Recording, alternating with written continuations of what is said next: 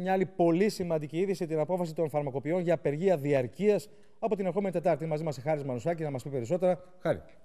Από την Τετάρτη δεν θα υπάρχει φαρμακείο ανοιχτό, διαμηνύουν οι φαρμακοποιοί, εκτός και αν αποσυρθούν οι επίμαχες διατάξεις του πολυνομοσχεδίου του Υπουργείου Ανάπτυξης που έρχεται προς ψήφιση στη Βουλή αυτή την εβδομάδα.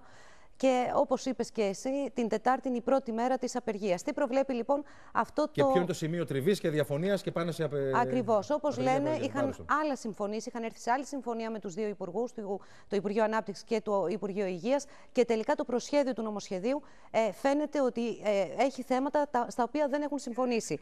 Ποια είναι λοιπόν τα θέματα αυτά; Τι προβλέπει λοιπόν σύμφωνα με τις πληροφορίες των φαρμακοποιών; Πολλές άδειες αναφαρμακοποιό. Τι σημαίνει αυτό; Κάθε φαρμακοποιός θα μπορεί να έχει όσες άδειες φαρμακείου θέλει.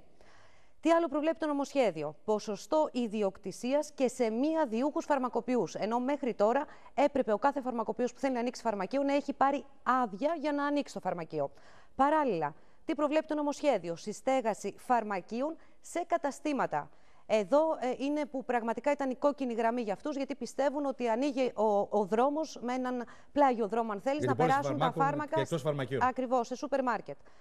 Προχωρούμε. Κανένας περιορισμός απόστασης μεταξύ των φαρμακείων. Άρση δηλαδή των γεωγραφικών περιορισμών. Ένα φαρμακείο μπορεί να είναι δίπλα στο άλλο. Ακριβώς. Και τέλος, απελευθέρωση του, του ωραρίου λειτουργίας των φαρμακείων, αλλά και της τιμής στα μη συνταγογραφούμενα φάρμακα από 1η Πρώτου του 2017.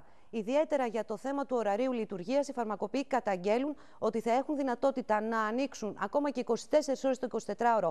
Όσα φαρμακεία είναι μεγάλα και διαθέτουν πολύ προσωπικό, θα είναι τα φόπλακα για, τους, ε, για τα μικρά φαρμακεία και επισημαίνουν ότι δεν υπάρχει κανένας λόγος να υπάρχουν εφημερίες αν τελικά απελευθερωθεί το ωράριο. Παραλαμβάνουμε λοιπόν απεργία διαρκείας αρχής γενομένης από την Τετάρτη.